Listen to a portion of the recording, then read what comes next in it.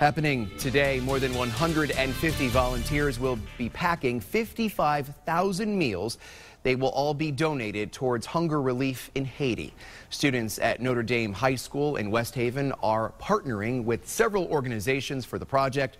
They'll start packing meals at the high school in West Haven from 3.30 this afternoon until 7 o'clock tonight.